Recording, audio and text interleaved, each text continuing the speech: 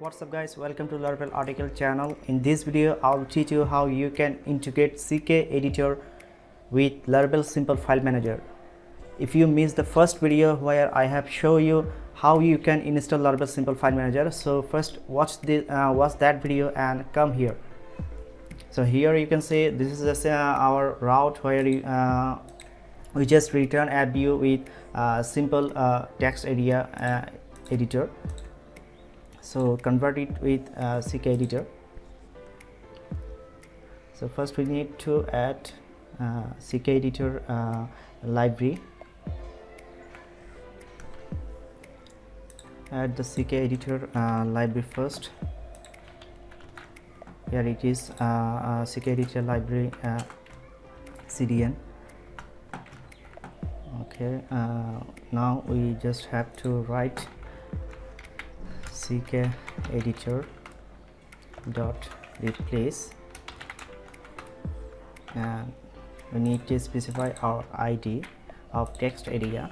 Here it is. Um, the second parameter will be an object uh, where we have to specify the file browser url of ck editor. And the Laravel simple file manager will provide us a, a callback uh, a an URL for CK editor CK browse URL that's it. That's just super simple uh, to integrate CK editor with Laravel simple file manager.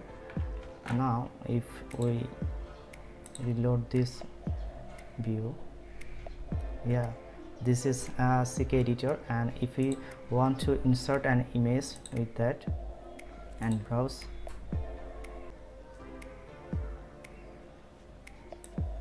Yes you can see uh, this is the Laravel simple file manager and we can insert any image.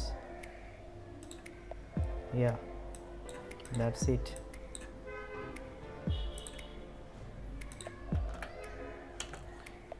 you can insert another image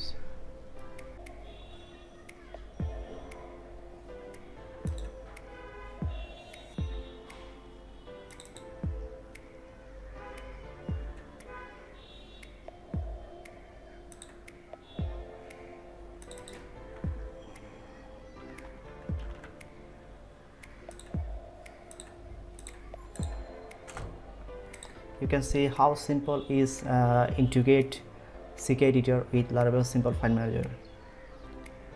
If you like this video hit the thumbs up button below. Don't forget to subscribe